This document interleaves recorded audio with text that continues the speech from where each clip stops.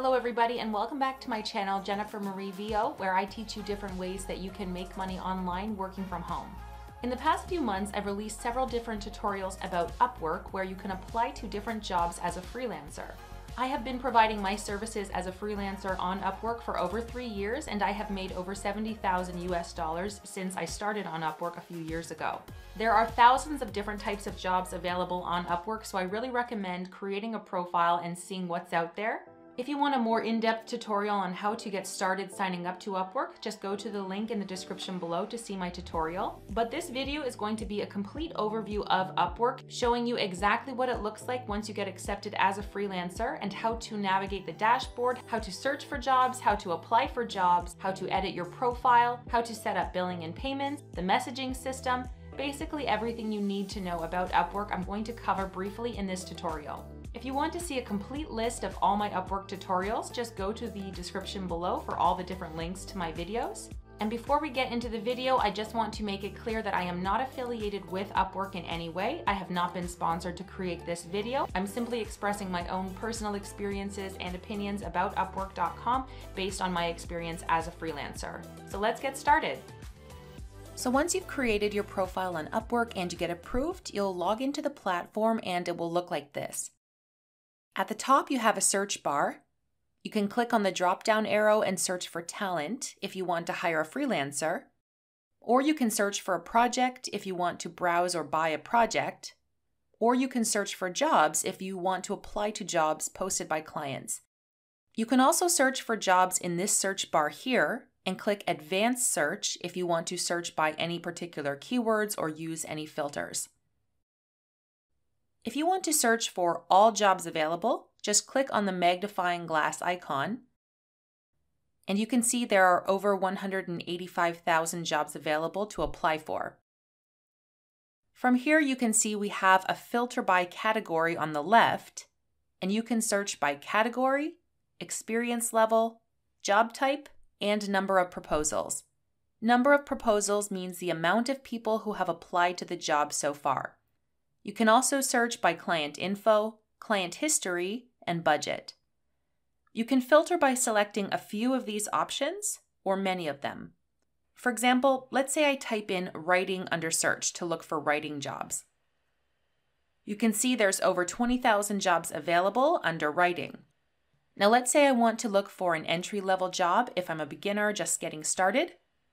I can click on the entry filter and the jobs found will automatically update as you click different filters. So this helps you find exactly the job type that you want to apply for, the budget that you want, the type of client, and so on.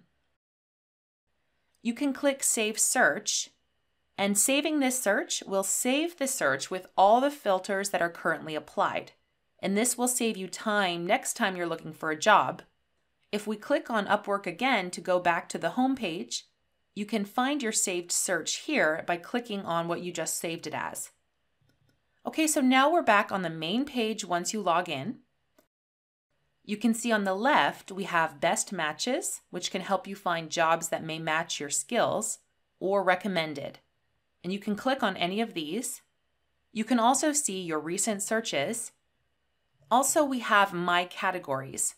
If you click on the pencil icon, you can edit the categories to select up to 10 categories that are the main services you offer to clients.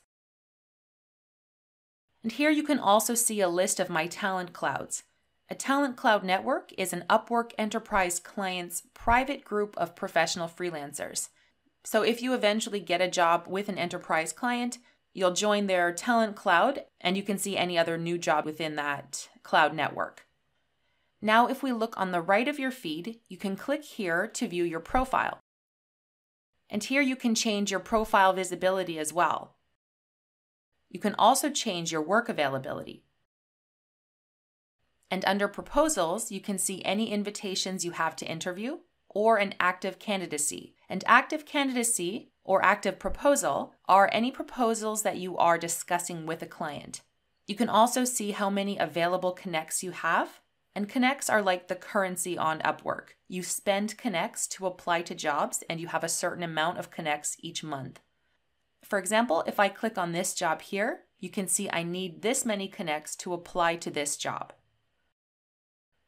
Now let's go back to the navigator at the top.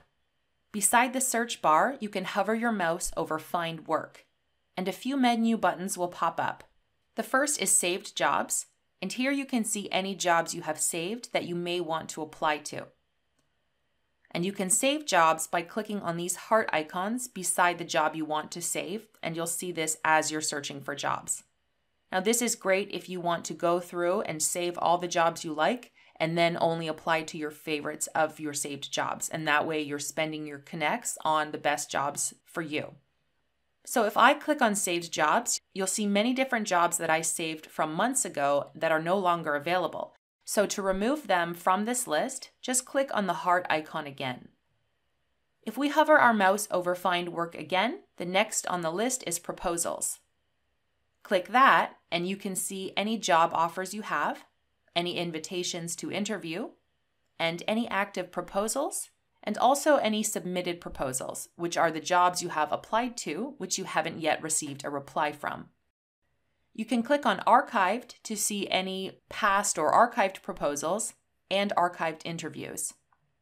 So going back to the drop-down menu, we can click on Profile. And here you can see My Profile, I'm going to create a detailed tutorial later on about how to improve your profile because there's also a few things I want to improve on mine as well. But here you can make any edits that you want to your profile by clicking on any of the pencil icons. If we go back to find work and scroll down to my stats, on this page you can see all of your different stats, client satisfaction, your job success score, your 12 month earnings, any badges that you have. You can see I've got the top rated plus badge. You can see communication. This here shows my responsiveness score. So if you've watched one of my previous videos, you know that it's good to respond to interview requests as soon as possible so people know that you will respond in under 24 hours and you'll get more job interviews that way, especially if someone has an urgent job that they want to discuss with you. And you can see how often your profile has been viewed compared to other freelancers in your category, how often you were hired or interviewed. And then at the bottom here, you can see your profile completeness. So make sure that this is 100% complete. That is very important. The next one is the Upwork Readiness Test. I recommend you take this.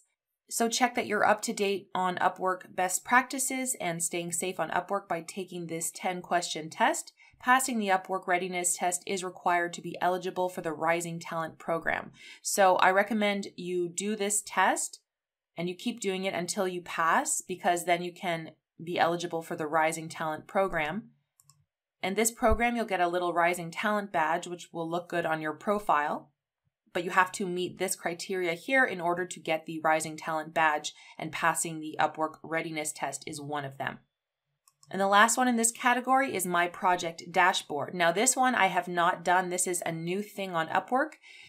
Basically, having projects available means that clients can find your profile and then buy a project from you rather than having to, you know, go through the whole process of communicating with you first and sending an offer. So this is something I have yet to explore and I'm going to explore in a new video coming soon and I'm going to create a few different projects and put them on my profile. So the next category is my jobs. So if we click on that, you can see here your active contracts, any active milestones you have within a contract. So basically what a milestone is, is for example, I have been working with this client here for a couple years. So rather than start a new contract every time we work together, my client puts a different milestone every time we have um, a new project. So I create a video for them once every two weeks. So we just create a new milestone rather than starting a whole new contract each time. Awaiting milestones. So these are contracts that I have. I'm waiting for them to give me new jobs on, but a lot of these I can end because I'm probably not going to have more work with some of these clients. It was just a one off job. So here we have payment requests. And basically what this means is this client hasn't yet released the money. There is $420 funded in escrow and they're happy with the work, but they didn't release the payment. So I clicked submit payment request 13 days ago. And if the client doesn't do anything, then after 14 days, the money will automatically be sent to me. So for whatever reason, this client hasn't released the payment, but I will get the payment because, um, you know, I did the job and they were happy with it. But that will be released to me tomorrow. The next one under this category is all contracts. And here you can search by all the different contracts you have ever had with your client. You can download, search by contract, you can sort by any of these criteria as well. And then you can click on Work Diary. And the work diary is if you are working with any different clients on an hourly rate instead of a fixed rate job you would have this here. I generally like to work on fixed rate jobs, but if you're doing something like virtual assistant or something like that, you might be working a certain amount of hours every day. So you would have uh, the desktop app installed and you would have the hours logged here under your work diary. Now let's click on reports. If you click on reports, here you have the work in progress. So these are the fixed, for me, fixed price milestones in progress. These are jobs I'm working on. Under in review, this is like I showed you before. I'm waiting for this money to be released into my account, but it is in review. As you can see here, this also includes any fixed price milestones you've submitted for review. Clients have 14 days to accept or ask for changes on submitted milestones. So this money should be released to me tomorrow because it's almost at 14 days. Pending so this represents the standard security hold period in which funds cannot be withdrawn. So sometimes your some of your funds will go into pending before it becomes available. And then here these are the funds available to withdraw. If you've set up automatic payments, this will usually show a zero balance with the last payment indicated below. So you can see here I have 319.37 that is ready to be withdrawn but I have it set so that balances greater than $100 will be automatically sent, um, you know, at a certain time each week. And then you can see my last payment as well. And I could change my payment settings here. I'm going to talk about payment and an easier way to get to the payment settings in a minute. So here you can check a few other things. You can check your lifetime billings by client, your connects history, transaction history, and then a certificate of earnings to see how much money you have made. The next one is the messaging system. So this will is very important when you're working on Upwork. It's best to communicate with your client within the Upwork messaging system. So on the side here, you have all the different clients you have worked with or that you're talking about a proposal with. And then here is the messaging system. It's quite simple. You can click here to attach any file that you want to send to the client. Here is the help and support icon. So if you need any help and support or you have a dispute or you want to go to the community and forums, you can do that. Here's the notification bell. So if you have any new notifications, you can click on that and see, you know, all of the most recent things that have been going on in your Upwork dashboard. And then here you can click on your little profile icon and you can make your status online or invisible. And what I want to show you now is settings. So this, the quickest way to deal with all of your changing things on your account and your billing and whatnot is to click on your little profile icon and click settings. And that will get you into all your information, your account information. So here we can click on membership and connects. Now there are two different plans you can have, either the free plan or the freelancer plus plan. So the basic plan, which is free, is you have 10 connects per month that you can use to apply to jobs, and then you can buy connects as you need them for 15 cents plus tax each. I have the Freelancer Plus plan, which I like because it gives me a customized profile URL. And then I also have 80 connects per month and I like that you can see competitor bids for any job. But you can just keep the basic plan if you want until you, you know, are making enough money that you can afford the plus plan. So setting your billing methods will allow you to buy Connect. So you can click billing methods and click add method and then choose, you know, either credit card or PayPal to get a membership plan with Upwork or to buy Connects. So you can change your contact info if you want and let's click on get paid. So I have been asked, how exactly do you get paid? So again, if you want to set up your payment settings, you're going to click on your profile icon, go to settings, and then at the side here, you're going to click get paid. So my balance right now is 319.37, so I can click get paid now, but I just have it scheduled weekly. So you can click edit schedule and every week, if my balance is over $100, they will send it uh, the money into my bank account. So if you scroll down here, we have payment details.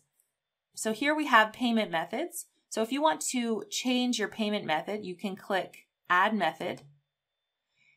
And you can either do direct to local bank, or you can get paid via PayPal, via Payoneer, a wire transfer, or direct to US Bank. So if you have a TransferWise account, you can set up a TransferWise account in almost any currency, I believe. And I set up um, a TransferWise account. So I am getting paid directly into my TransferWise account, which has um, a setting for it to be like a US bank. So I recommend, you know, setting up TransferWise and just having it directly deposited into your TransferWise account. And then you can connect that to your bank account in whatever current uh, in whatever country you're in.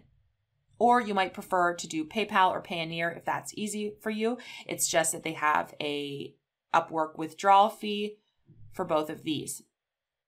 So here you can also change your password and security and enable any verification options you want. And at the bottom, you have notification settings. So if you want to get some notifications, you know, for any important activity, on your mobile phone, on your desktop, or on your email, you can do that here. Okay, so this has been an overview of Upwork on how to use Upwork, the most important things you need to know to get started or once you have been approved to become a freelancer on upwork.com. Remember, I will be releasing more tutorials on how to, you know, make your profile look awesome, how to create a project, and all that stuff coming up soon. So make sure to subscribe to my channel for more videos on Upwork and videos on how to make money online. If you have any questions about Upwork or if there's anything you would like me to cover in a upcoming tutorial, please let me know in the comment section of this video. Make sure to like this video, it really does help me out. And thank you guys for watching. I'll see you in my next tutorial.